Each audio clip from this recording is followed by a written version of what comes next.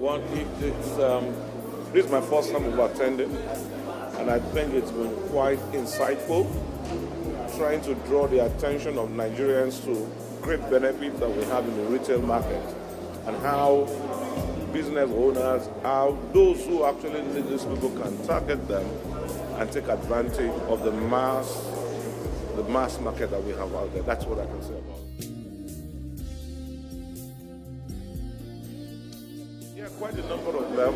You know, I'm sure retailers are looking at the, the, the challenges in the area of convenience. They're looking at the area of um, trust. Can we trust what I want to buy in the traffic? They're looking at the, you know, uh, how how genuine those products are. I'm sure they're looking at that as well.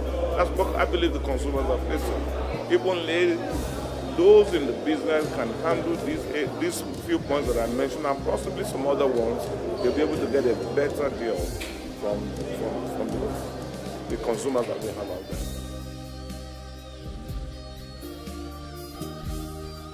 I've listened to about three speakers now, and I think I've been I've, I've been to a large extent. I've had quite some quality things from them. I'm expecting that we'll be able to go beyond just talking that seeing how we can actually go out there and take advantage of the great market that we have. That's what I'm looking at.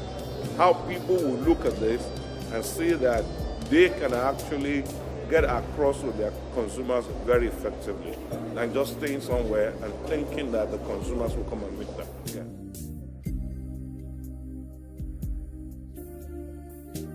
To them they're missing quite a lot. It doesn't matter what you know. It doesn't matter how you're doing well in the market. You can always do better, because we only I believe that it's only in the in the major cities that people have benefited in terms of retailers.